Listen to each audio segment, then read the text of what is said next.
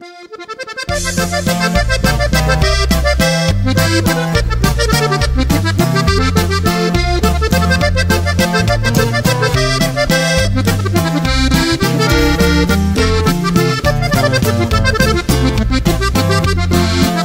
lo habían comprado en la subasta, por su tamaño lo despreciaron.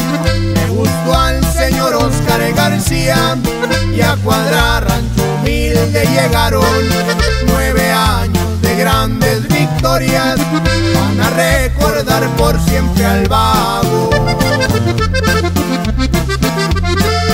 Qué valiente salió el chaparrito, siempre tuvo unos nervios de acero, de chico enfermo de sus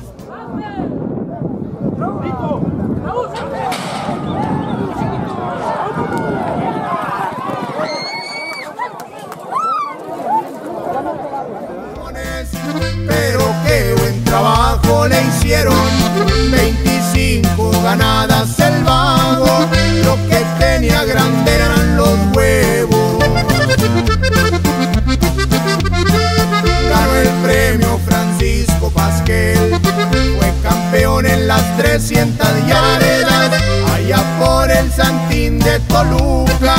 Dicen que la tierra le gustaba, se tocó